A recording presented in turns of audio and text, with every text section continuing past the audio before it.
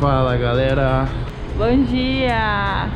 aqui vamos nós de novo E dessa vez a viagem vai ser longa Estamos saindo de Curitiba agora, fazendo 5 graus. Vamos para São Paulo para depois pegar um voo para ir para Salvador. E aí chegar lá vai estar fazendo 30 graus.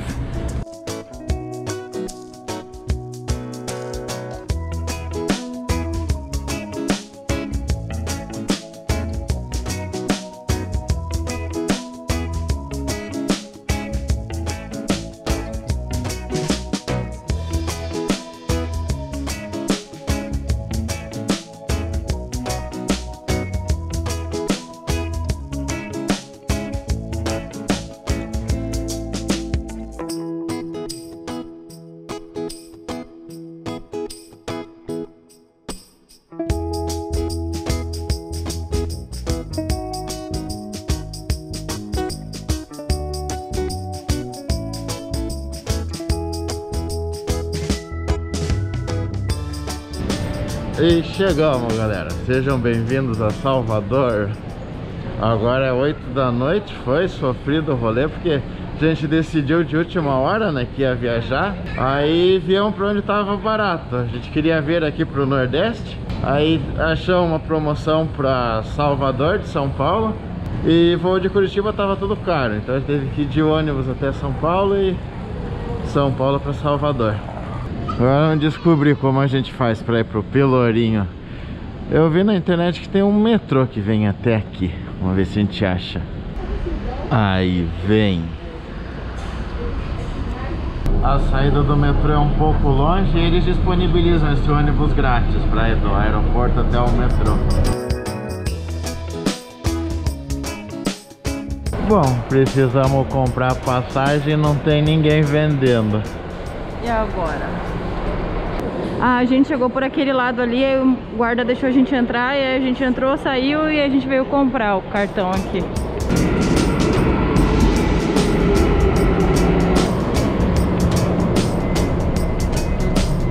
que legal os banquinhos. E até aqui chegamos com o metrô. Nosso hotel tá a um quilômetro de distância daqui, só que a gente vai pegar um carro porque nossa hora não sabemos se é seguro andar por aí, a gente não conhece a cidade. Ok, aqui estamos no Pelourinho. Temos que subir até lá, carro não entra aqui. Também vazio, achei que ia estar mais animado. Não sei se é efeito da pandemia ou se toda noite é assim. Quero ver onde a gente vai comer. E comprar água. Aqui está. Estamos acomodados. Esse vai ser nosso quarto. Tá custando 120 a noite. Faz coisa de youtuber. E aí, vamos passear por aqui de dia agora. Olha a cara do Pelourinho. A gente ficou impressionado aqui com a primeira olhada, bem bonita, mesmo mais bonita que a gente imaginava. A gente já tinha visto imagem daqui tudo, mas não sei, me surpreendeu. É, e a ladeira é mais empinada pra subir do que eu também pensei que fosse, mas faz parte. Foi por aqui, algum lugar que o Michael Jackson gravou o clipe dele. Acho que foi nessa casa aqui, inclusive. Qual que era o nome do, da música, lembra? Ixi, não tenho ideia. Mas é aquela que ele gravou junto com o Olodum. Ali também é a fundação, casa do Jorge Amado. Não é a casa dele de verdade, ele não morou aí. Ele morava em outro lugar mais longe. Só que montaram aí um museu com o acervo dele. Jorge Amado, escritor do Capitães de Areia, grande clássico. Dona Flor e seus dois maridos, né? Só lembrava da Tieta. a tieta dele. Eu acho que é. Essa aqui é a famosa igreja Nossa Senhora do Rosário dos Homens Pretos. Pena que tá fechada, né? A gente tá até chateado de conhecer Salvador na pandemia, né? Porque aqui deve rolar uns festivais muito legais. Dizem que as celebrações religiosas dessas igrejas são cheias de festa, algo bem diferente, assim, bem mesclando, né? A cultura africana com o catolicismo. Mas tudo bem, desculpa pra voltar depois. E essa ladeira aqui, né, a ladeira do Pelourinho, essa região do centro histórico, eles chamam de Pelourinho, porque aqui antigamente tinha um Pelourinho. Não sei bem o local exato, mas pelourinho, né, para quem não conhece, era um pau ou uma pedra, um poste assim, que amarravam as pessoas para chicotear, né, para punir. Ao longo da história foi utilizada para punir geralmente criminosos, né? Mas no Brasil foi muito mais usado para punir escravo, né? O povo escravizado da África, principalmente. Eu li em algum lugar até que o pelourinho ficava no largo, né? Que naquela parte grande ali de cima. E que todos os açoites, tudo que eles faziam era em praça pública. Que era justo para as pessoas verem mesmo o escravo ser punido. E que também ali ficava um lugar de venda de escravo algumas condenações passavam de mil açoites, assim, dependendo do crime. Se fosse revolta, rebelião, pode ter certeza que o cara ia levar umas mil chibatadas, pelo menos.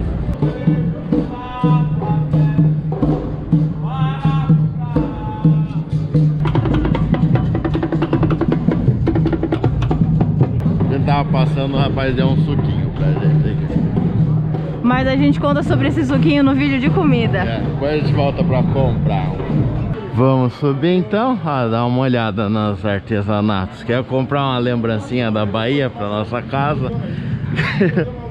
Olha o bonequinho, que bonitinho. É. Ah, dá pra comprar um quadrinho da Baianinha, dezão. Ó as peitas aí.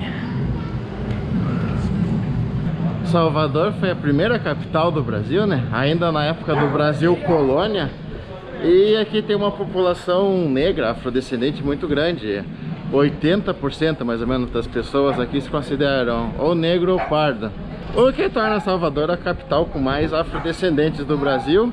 Em algumas fontes a gente leu que é a maior do mundo fora da África, seguida por Nova York. Aí estamos impressionados com o centrinho mesmo, muito bonito e muito seguro andar por aqui, ó. Todo lugar tem policiamento. E quem estivesse perguntando do Mucovinha, ele viu que tava cara de chuva e não quis sair.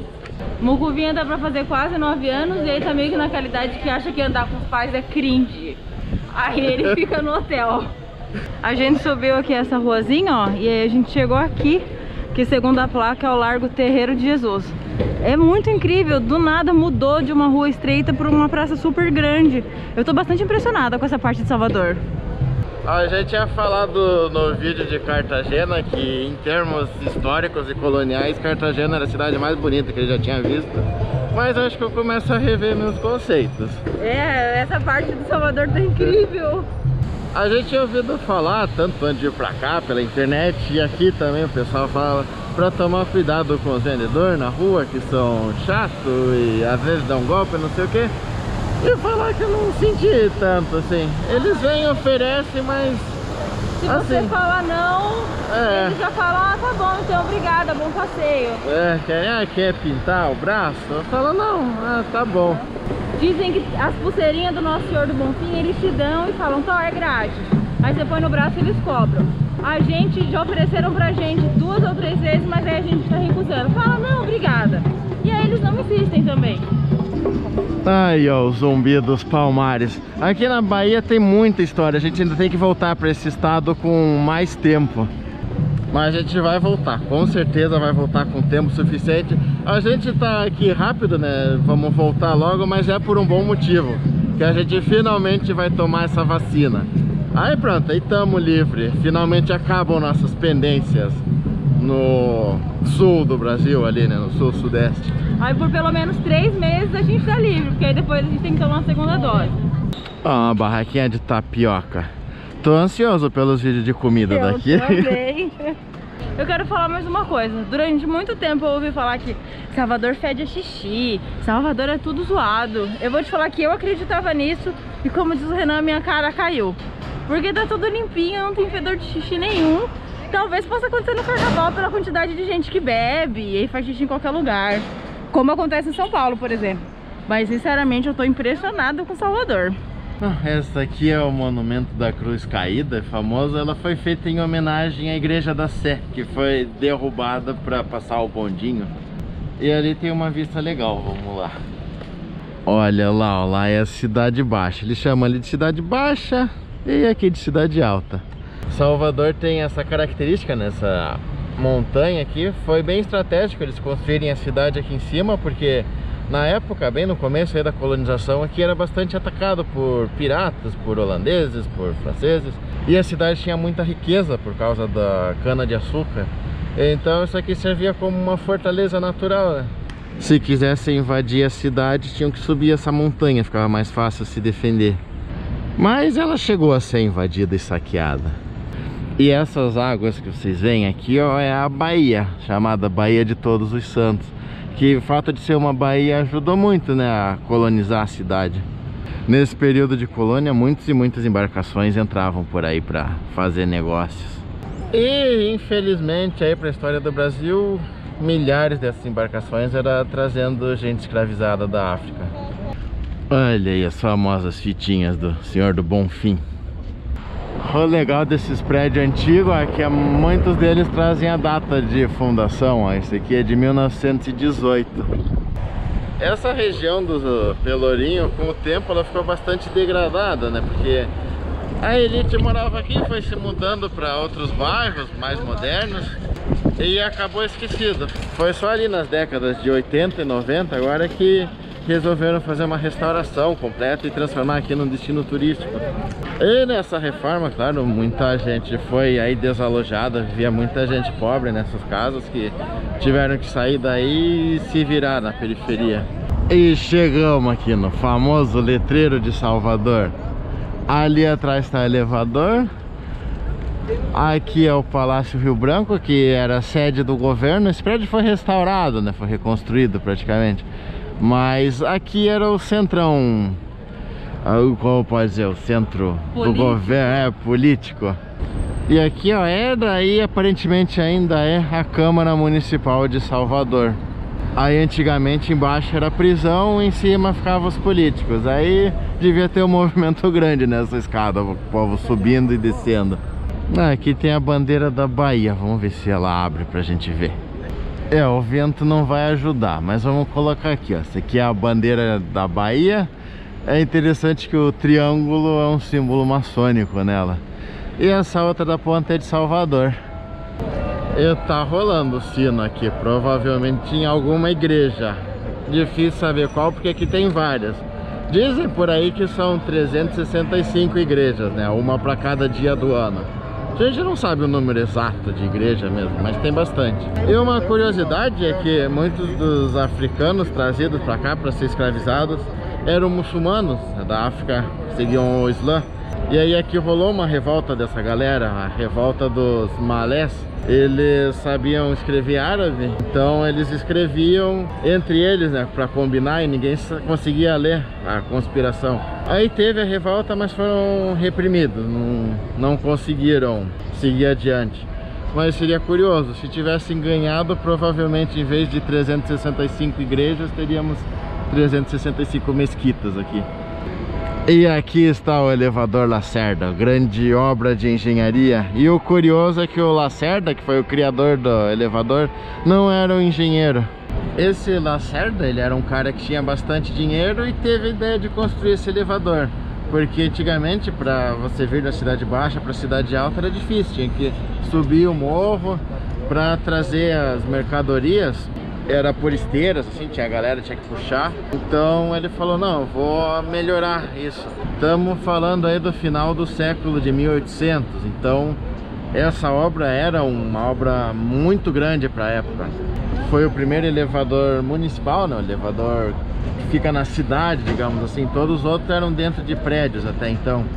E ele teve que furar as pedras para pôr no mecanismo.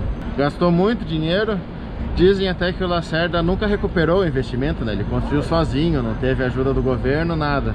Então gastou toda a fortuna e acabou morrendo pobre. Mas a obra dele entrou aí para a história da cidade.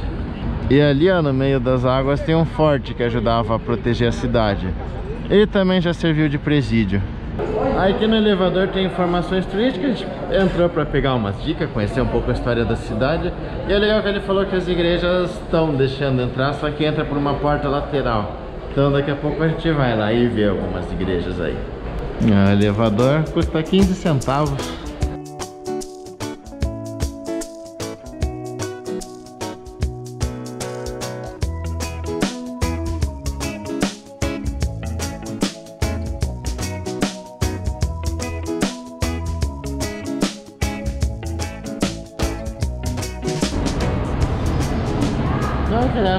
Vários elevadores dentro do negocinho, né? É.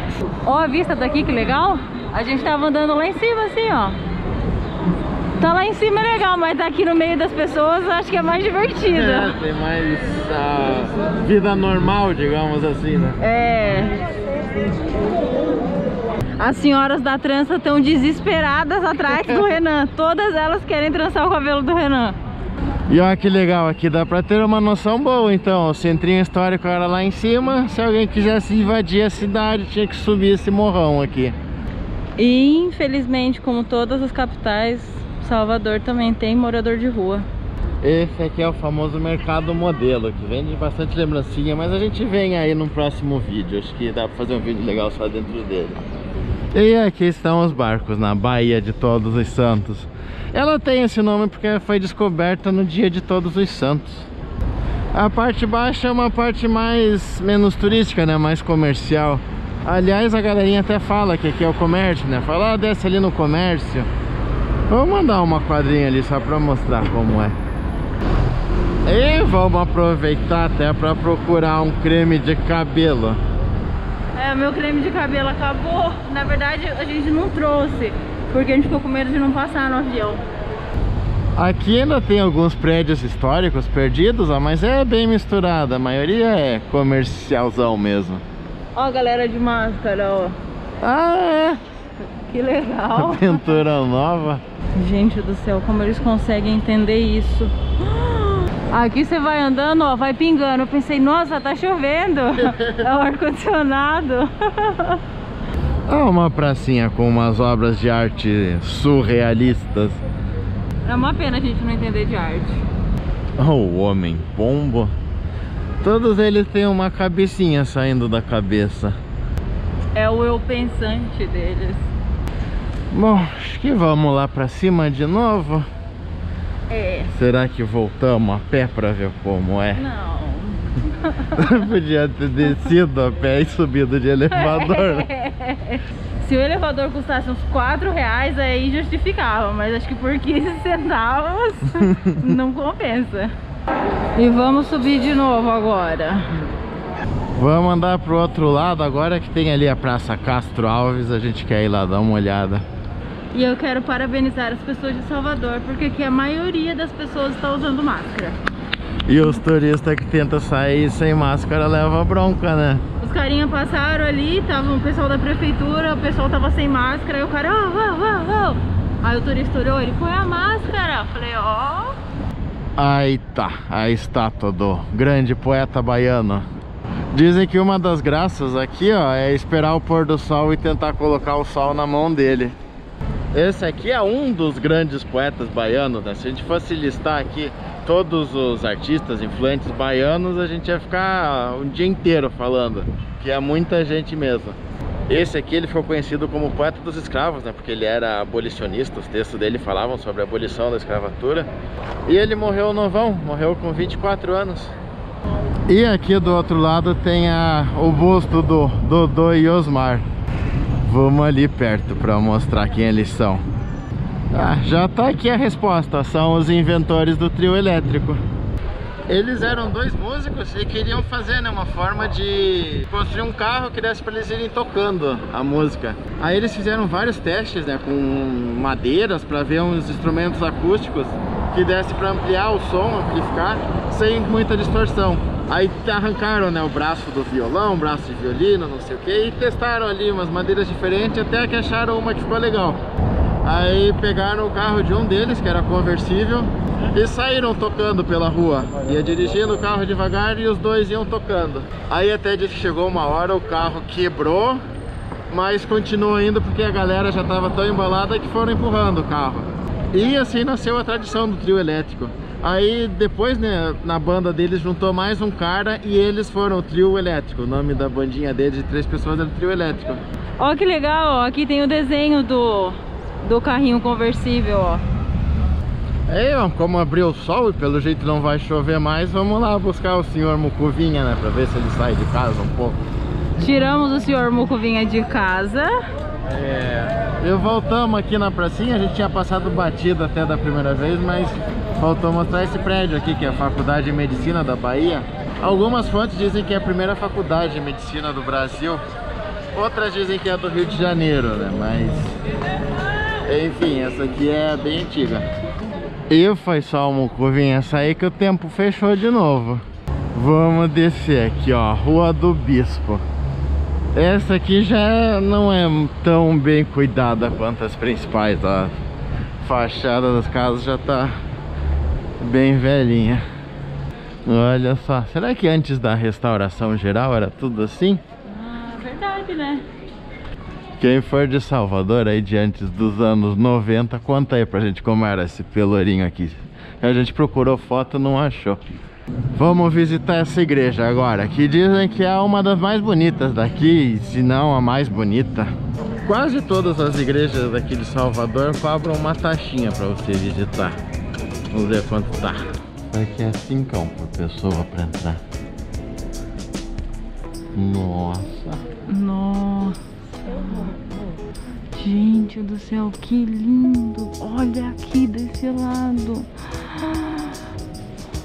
Nossa. É muito bonito. Olha os detalhes em ouro.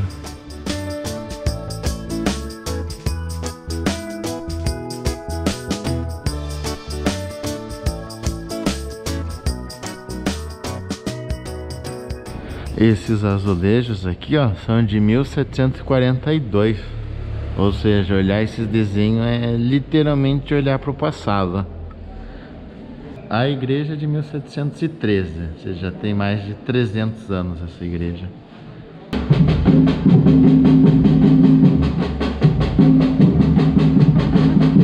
E a gente vai entrar aqui agora. A gente já passou aqui de manhã, mas aí a gente descobriu que dá pra entrar por aqui. Então vamos lá mostrar pra vocês.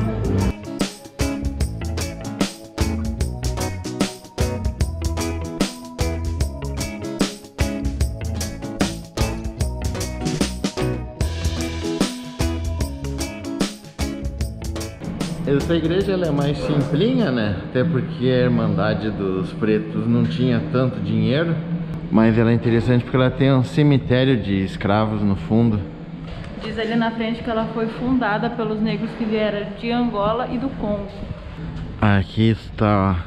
Tem alguns túmulos. E aqui tem uma estátua da Anastácia, a mulher da máscara de ferro. A Anastácia era uma escrava muito bonita e aí diz que ela se recusou a ir pra cama com o senhor dela. Aí ele de vingança espancou ela e fez ela usar essa máscara de ferro. Ela só podia tirar a máscara para comer. Aí o senhorzinho que cuida da igreja falou que ela estava enterrada aqui, ó. E aí levaram os ossos dela para o Rio de Janeiro. Alguns historiadores contestam, né? Não sabem se ela existiu de verdade ou não. Mas de qualquer forma, ela é uma figura bastante reverenciada.